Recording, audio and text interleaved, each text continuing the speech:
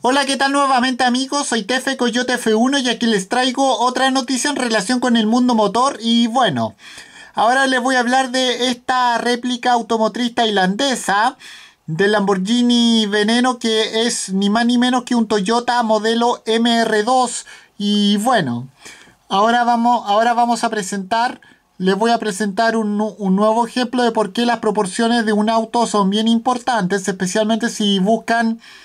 copiar un super deportivo de motor V12 con un pequeño eh, auto roster japonés y ahora vamos a hablar de aquello. Bueno, eh, el Lamborghini Veneno es uno de esos autos con una estética realmente extrema aunque alguien lo mire eh, por donde lo miren, en la cúpide del exceso y a, y a, su lado hasta un prototipo de resistencia parece poca cosa. Bueno, por ello, bueno, es normal que más de uno quiera hacerse con un auto tan singular. Otra cosa es que uno tenga casi 4 millones de euros a mano. Así que es, eh, comprensible eh, que algunos busquen tener algo, algo parecido sin tener que desembolsar una gran cantidad de, de dinero y bueno y así que eh, que se llega a Tailandia que es junto a China eh, el paraíso de las eh, réplicas donde se ha creado este curioso Lamborghini modelo Veneno Roadster eh, o más o menos algo parecido a este Hypercar italiano bueno queda por delante que a falta de algunas piezas que se ven aún no se han instalado, como por ejemplo las luces delanteras. Por ejemplo, el trabajo con esta réplica es muy bueno, eh,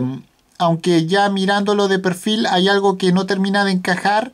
Bueno, es muy probable que se deba a que debajo de esta nueva carrocería se encuentra un Toyota MR2, un roadster mucho más eh, chico que el Lamborghini al que está intentando imitar y bueno, se, puede ver de hecho como la parte frontal se extiende mucho más allá del final del chasis. Bueno, mientras que la, lo que es eh, la parte posterior está fielmente reproducida. Tiene una accidentada transición hacia la cabina con trazos que no, no recordamos haber visto en este carísimo eh, super, super auto italiano. Bueno, habrá que darle beneficio de la duda por lo que a uno que por estar todavía por no estar todavía terminado completamente eh, pero acabe como acabe bueno, su dueño se garantiza un auto con el que no pasará, no va a pasar desapercibido ni por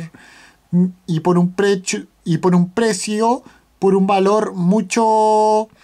mucho más bajo.